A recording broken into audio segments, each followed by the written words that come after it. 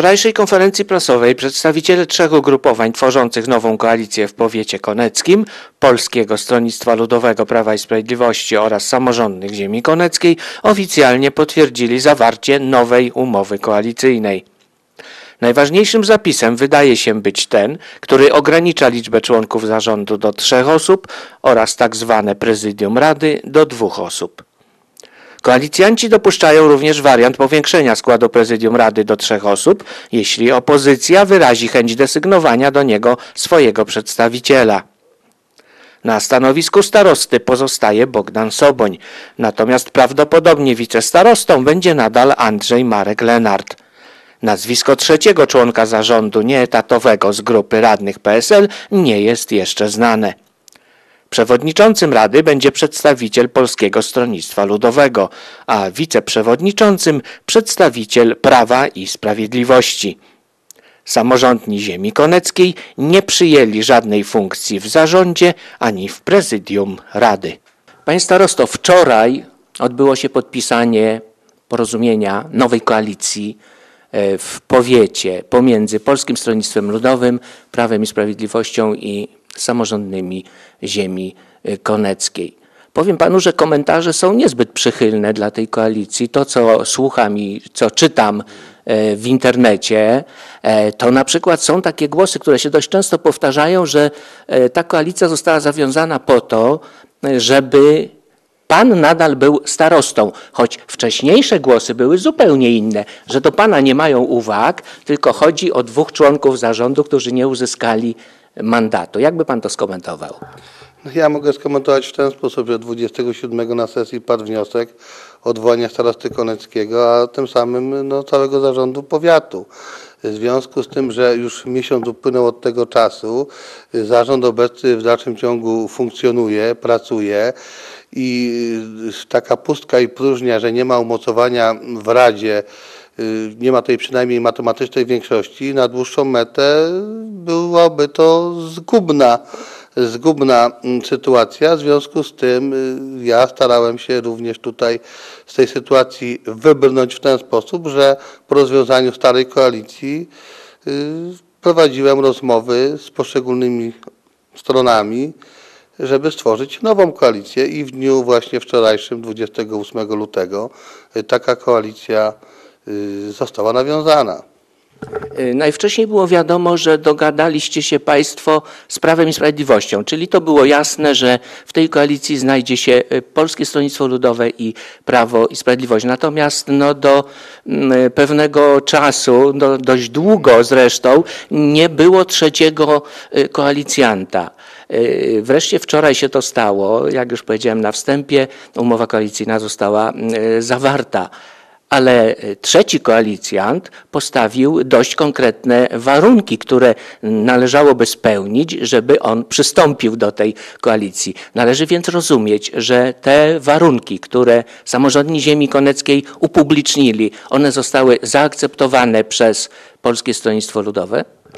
Y, ja powiem tak, że oczywiście rzecz jasna, jak gdyby odpowiadając y, po kolei na zadane y, sekwencje Pana pytania, to w 2006 roku nawiązaliśmy koalicję jeszcze w poprzedniej kadencji z Prawem i Sprawiedliwością i ta koalicja oczywiście skutecznie przetrwała 4 lata.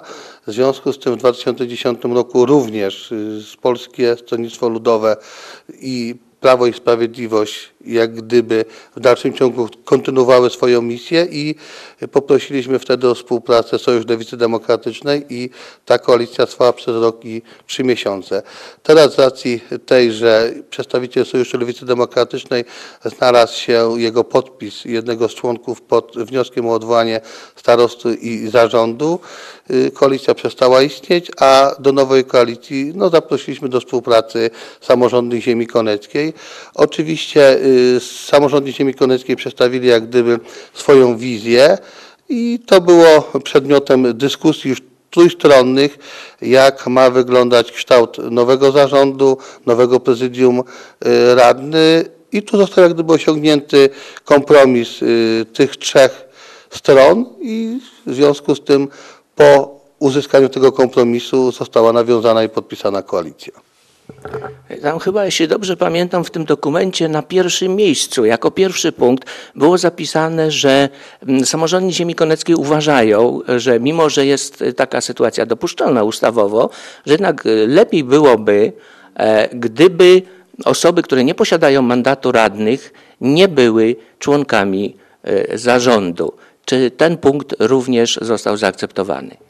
On był oczywiście wiele razy dyskutowany, ale po dłuższych dyskusjach jednak przeważyła jak gdyby mm, taka y, teoria i decyzja w tym względzie, że mimo wszystko jednak każda ze stron ma swoją autonomię co do powierzania w- funkcji sobie przypisanych i bierze pełną odpowiedzialność za osoby, które będzie desygnowała. Także tutaj jest mimo wszystko zachowana pewna autonomia y, poszczególnych stron umowy koalicyjnej. Dziękuję za rozmowę. Dziękuję. Kiedy rozmawialiśmy ostatnio, y, rozmawialiśmy również i na temat y, przyszłej koalicji wówczas y, w powiecie koneckim.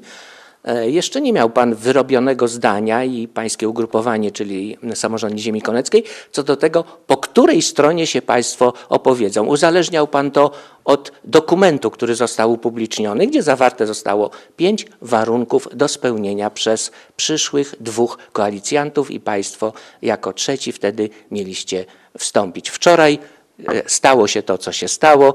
E, Samorządni Ziemi Koneckiej weszli do koalicji z udziałem Polskiego Stronnictwa Ludowego i Prawa i Sprawiedliwości. Czy przez to należy rozumieć, że dwaj pozostali koalicjanci zaaprobowali te warunki, które Państwo żeście przedstawili? Czy w podpisanym porozumieniu o współodpowiedzialności y, y, w powiecie koneckim, to ten dokument stał się, czy został wymieniony jako podstawa programowa działania. A więc pod tym względem można powiedzieć, że jest dokumentem źródłowym dla przyszłego programu dobrego rządzenia powiatem. Natomiast y, negocjacje mają swoją logikę. Y, Gdyby samorządy ziemi koneckiej mieli 11 radnych, to wówczas 100% naszych postulatów mogło być y, wprowadzonych w życie. Jeżeli tak nie jest, to rozmowy muszą zawierać pewien element y, kompromisu i elastyczności. Pytałem wówczas również o to, czy jeśli Państwo się zdecydują na udział w koalicji po jakiejkolwiek ze z tych dwóch stron, e, czy wezmą Państwo jako grupa trzech radnych samorządnych ziemi koneckiej odpowiedzialność również za decyzje podejmowane zarówno przez Radę, jak i przez e, to, co, e, jakie decyzje będzie podejmował zarząd powiatu. E, Wtedy pan również nie odpowiedział mi konkretnie, czy tak, czy nie. Raczej wywnioskowałem, że nie. E, Proszę powiedzieć, jaka jest decyzja na dziś samorządnych ziemi koneckiej? Czy będą państwo radni stali z boku i władzy wykonawczej i uchwałodawczej, przyglądali się e, współkoalicjantom, jakie decyzje podejmują, czy one są właściwe, czy również weźmiecie państwo współodpowiedzialność za to rządzenie? Ja bym powiedział tak, że dla nas byłoby rzeczą pewnie najbardziej wygodną pozostawać w takiej sympatycznej, konstruktywnej y, opozycji i z pozycji mentora punktować niedoróbki czy też y, krytykować błędy lub zaniechania. Natomiast y, sytuacja powiatu wymaga jednak pełnej odpowiedzialności.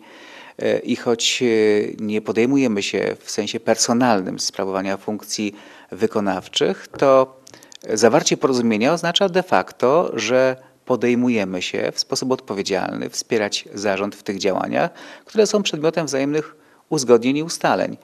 Co do tego nie ma wątpliwości. Na tym polegać ma y, przecież w końcu porozumienie.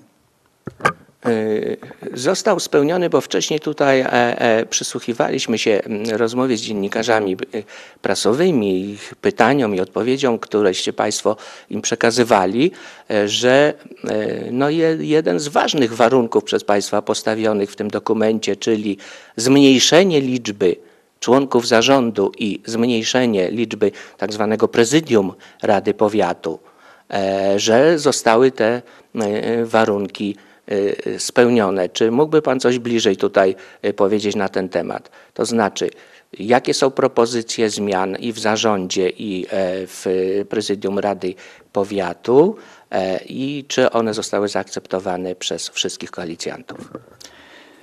To jest wprawdzie zmiana, która ma charakter symboliczny, bo ona nie uratuje finansów y, powiatu ani nie spowodowałaby ich krachu, gdyby ten nie został spełniony, ale symbole są chyba równie ważne jak y, rzeczywiste odczucia, bo y, wydaje mi się, że chodzi tutaj o pewien czytelny sygnał, że w ciężkich czasach y, tak zwana władza publiczna również potrafi się samoograniczyć. Przyjęliśmy, że zarząd będzie składał się z trzech członków, czyli starosty, wicestarosty i nieetatowego członka zarządu, a więc będzie pomniejszony o dwóch dzisiaj e, funkcjonujących członków zarządu, w tym e, będzie pozbawiony etatowego członka zarządu. Natomiast co do prezydium rady, czy tak zwanego prezydium rady, przyjęliśmy ustalenie, że przyjmujemy dwuosobowy skład, chyba że e, warunkiem e, zaproponowanego udziału we współrządzeniu w Radzie dla przedstawicieli e, innych pozakoalicyjnych ugrupowań byłoby poszerzenie tego składu. Inaczej mówiąc, e, stoimy na stanowisku, że prezydium dwuosobowe starczy, ale bardzo by nam zależało na tym, by wprowadzić do samorządu powiatowego pewne standardy widoczne w Sejmie, w którym mandat poselski liczy się tak samo w opozycji, jak i u władzy. I mar- wicemarszałkami i przewodniczącymi komisji są również przedstawiciele klubów opozycyjnych. E, Gdyby y, udało się za, zaproponować skutecznie przedstawicielom y, radnych spoza koalicji objęcie tego rodzaju funkcji, to nie mielibyśmy nic przeciwko temu, żeby to prezydium było trzyosobowe. Dziękuję za rozmowę. Bardzo proszę. Najwcześniej było wiadomo, że nową koalicję będą tworzyły na pewno dwa ugrupowania, które tworzyły poprzednią koalicję, a więc Polskie Stronnictwo Ludowe i Prawo i Sprawiedliwość. I tak się też stało. Poszukiwaliście Państwo trzeciego koalicjanta i się znalazł samorządni ziemi koneckiej. Ale oni postawili pewne warunki. Postawili warunki o zmniejszeniu składu zarządu do trzech osób i zmniejszeniu tak zwanego prezydium Rady Powiatu do dwóch osób. I był jeszcze jeden warunek dotyczący pana, panie starosto, między innymi i członka zarządu etatowego, pana Wiesława Basiaka. I co z tymi trzema warunkami?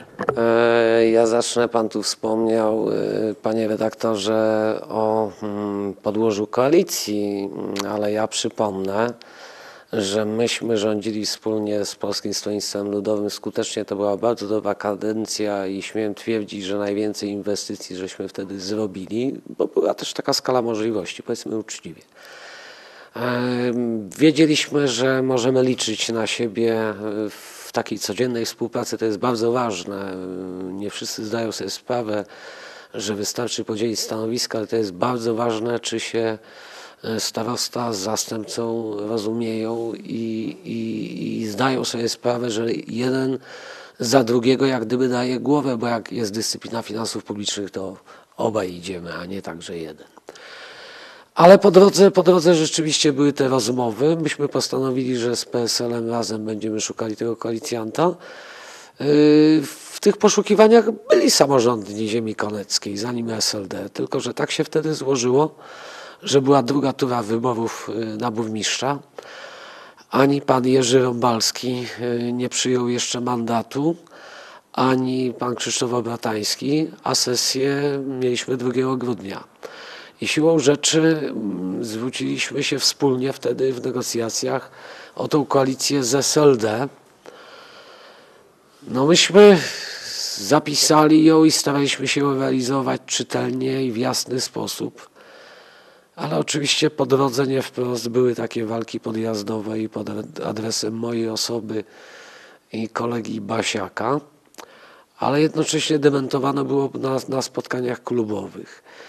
Więc y, wydaje mi się, że tutaj nieszczerość y, tego koalicjanta była jak gdyby od początku. Y, Bo ja powtarzam, ja rozumiem, gdybym się źle wywiązywał z funkcji, gdybym ja albo kolega Basiak, gdybyśmy dopuścili się jakiegoś nadużycia, niekompetencji. Ten argument, no cóż, no, można takiego argumentu użyć. Ja rozumiem takie zacietrzewienie i podnoszenie, ale szanowni państwo, w powiecie szydłowieckim starosta Włodzimierz Górlicki, przyjaciel zresztą, drugą kadencję rządzi, jest starostą, nie jest radnym. Wicemarszałek województwa świętokrzyskiego z Platformy Obywatelskiej nie jest radnym. Więc to było takie raczej ad personam, ale na siłę, bo byli ewentualnie adwersarze, którzy chcieli zająć nasze miejsce. A wracając do pytania, no cóż, myśmy jak gdyby przyjęli, że, że mm, bez samorządnych nie da się nas y, jak gdyby zdjąć, bez samorządnych nie da się funkcjonować. Y, Wspólnie z Polskim Stronnictwem Ludowym podjęliśmy te rozmowy. Mówiłem tutaj dziennikarzom z prasy, że niełatwe, ale przecież to nie o to chodzi, żeby było łatwo i przyjemnie, tylko żeby nie było napięć. I konsensus stanął na pewnej autonomii. Pewien ukłon nastąpił w stronę Czech, no to już wiadomo, PiS miał y, dwóch przedstawicieli w zarządzie. Polskie Stronnictwo Ludowe dwóch. Piąty był dla SLD. Jeżeli trzech, no to wiadomo, że z arytmetyki nie może być tam dwóch członków Prawa i Sprawiedliwości. Natomiast co, co do takich innych ustaleń, no ja między innymi podnosiłem na jeszcze jeden aspekt, że oczywiście można się przy zapisach upierać, ale tworzy się rzecz, której yy, do tej pory powiat konecki nie przerabiał od początku, bo był zarząd trzyosobowy, ale to był trzeci etatowy członek zarządu. Starosta pełni funkcje reprezentacyjne, musi podpisać umowę czasami z zastępcą swoim. I ten etatowy plus sekretarz to były te osoby, które panowały nad urzędem. Jeden mógł decyzję nawet wydawać. Tutaj w tych negocjacjach y, podnosiłem też kwestię, czy- jeżeli nie jest to etatowy, to żeby koledzy też rozważali jak gdyby pewne te aspekty, czy do końca upierać się przy tym zapisie, że tylko radny. No bo proszę Państwa, wychodziłoby na to, a zgoda była wszystkich ugrupowań, że starostą pozostaje Bogdan Soboń. Wyszedłby taki paradoks, że jedynym doświadczonym samorządowcem e, z rozpoznawaniem, zdolnością oceny, decyzji, podpisu jest Bogdan Soboń. Jego zastępca, który jest radnym, ale nie pełnił funkcji, w związku z tym będzie się uczył. Trzeci jest w ogóle dochodzący. Ja powiedziałem wtedy, ja współczuję staroście, bo ja takim starostą nie chciałbym być. Tak więc yy, no jest pewien konsensus. Czy to się sprawdzi? Wszyscy mieliśmy wątpliwości. Ale stanęło na tym, że przyjmujemy to wyzwanie i, i tu na pewno największy ciężar spadnie na tych dwóch etatowych na staroście, na wicestaroście. Ale spróbujemy się z tym zmierzyć. Natomiast pewnie, że z punktu widzenia może samej Rady, Prezydium, zmiana jednego wiceprzewodniczącego to są niewielkie pieniądze, te 400 parę złotych. Z etatowego członka tak, to jest zmiana, bo to są inne pieniądze. Ale też podnosiliśmy, i ja to podnosiłem osobiście, ja nie mam takiego doświadczenia jak kolega Bogdan Soboń, bo ja w samorządzie od 2002 roku, a tak fizycznie w zarządzaniu szósty rok, ale jedną kadencję pełną jako starosta. Więc wydaje mi się, że to jest bardzo ważne przy takim zarządzie, żeby było przynajmniej dwóch, którzy wiedzą, y, jaką decyzję podejmować, szybko ją podejmować, y, nie oglądać pisma, nie wołać ludzi, rozróżniać, co wolno podpisać, co wymaga uzupełnienia. Naczelników mamy oczywiście od tego, ale no, pan wie i państwo wiecie, za każdą decyzję odpowiada ten, który składa podpis. W hierarchii oczywiście starosta, potem wicestarosta. Co do prezydium, możemy to przyjąć, bo tak naprawdę w tamtej kadencji pamiętam, że nie zdarzyła się ani jedna sesja, którą poprowadził wiceprzewodniczący. A w tej kadencji to pamiętam, że Marian Gosz prowadził wtedy, kiedy przewodniczący miał niedyspozycję z gardłem. I tak naprawdę nie ma takich jakichś przypadków, bo w Radzie Rada raz w miesiącu obraduje, więc obrady można przygotować. Nawet jeżeli przewodniczący zachowuje, wchodzi w ten zastępca.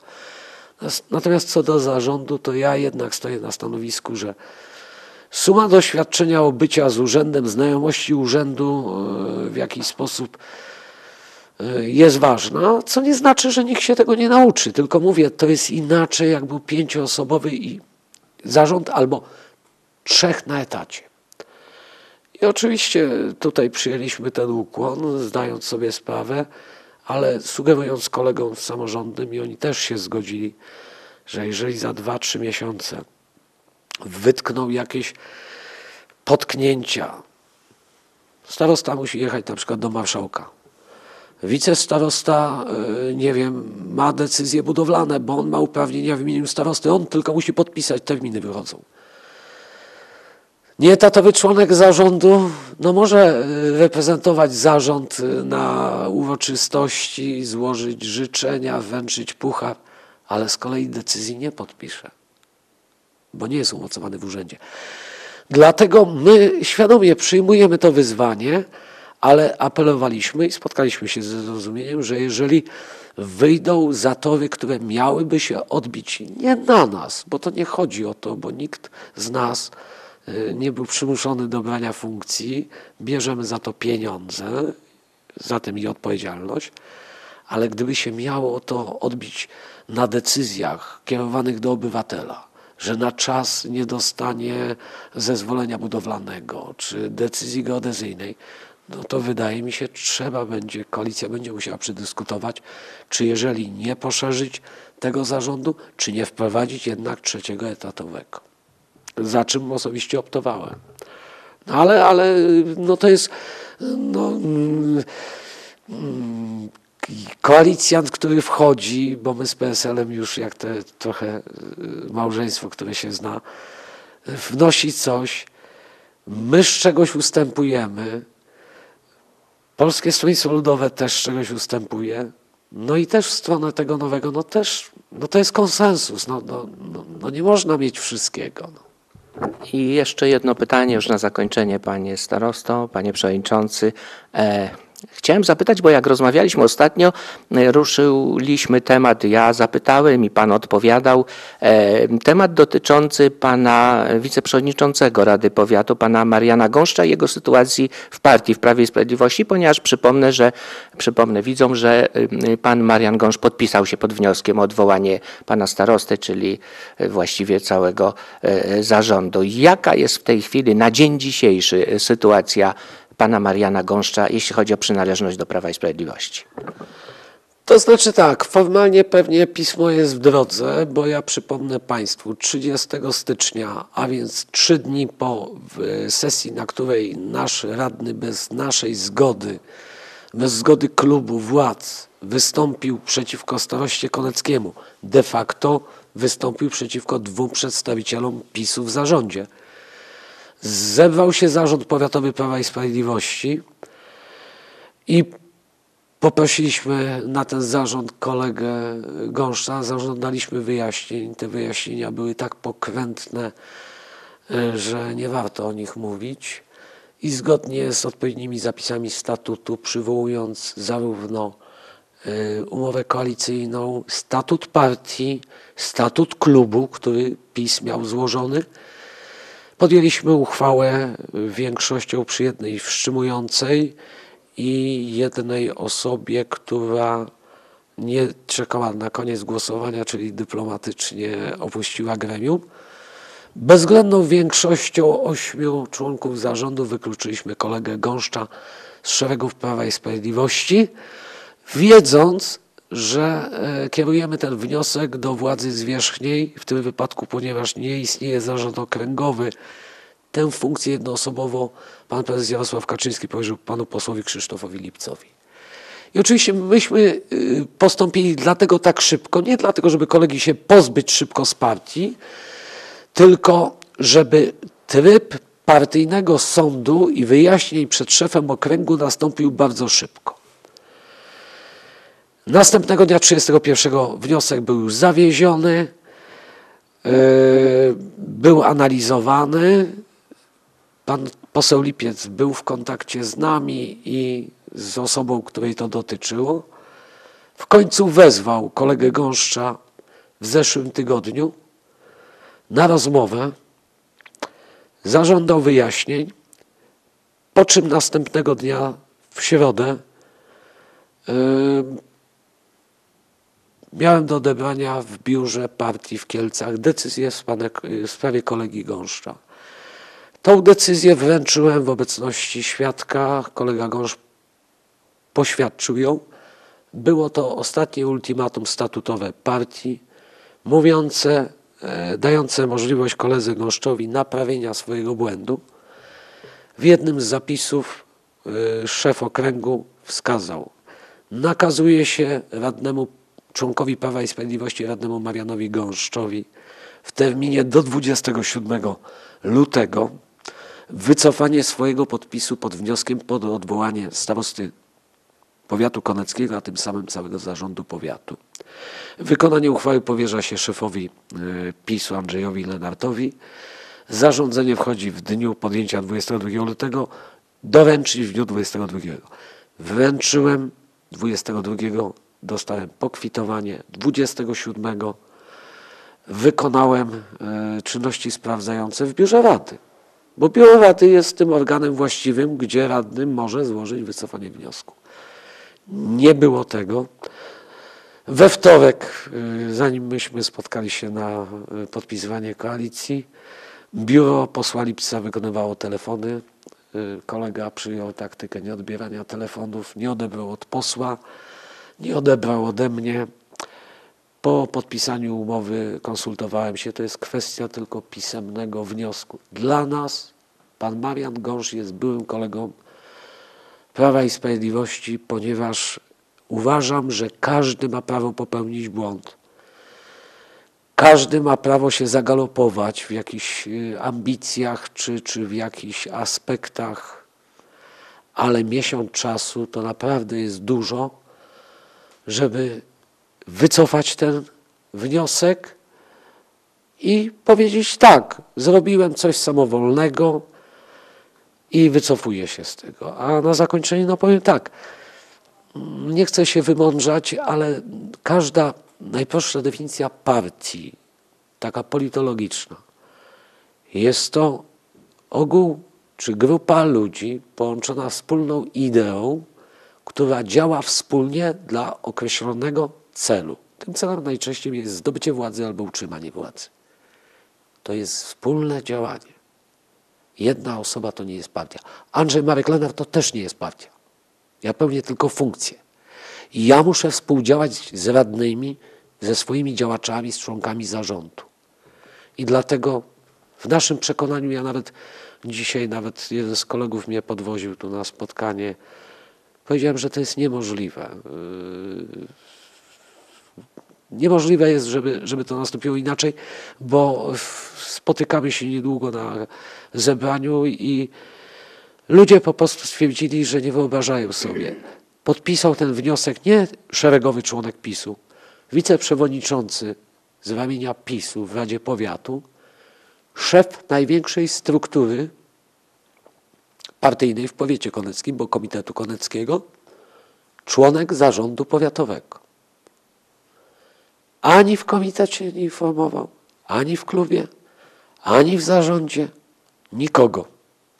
W związku z tym, jeżeli nie zgadza się z wolą zarządu, nie zgadza się z wolą szefa okręgu, decyzja jest jedna. Jest osobą poza partią. Dziękuję za rozmowę. Dziękuję.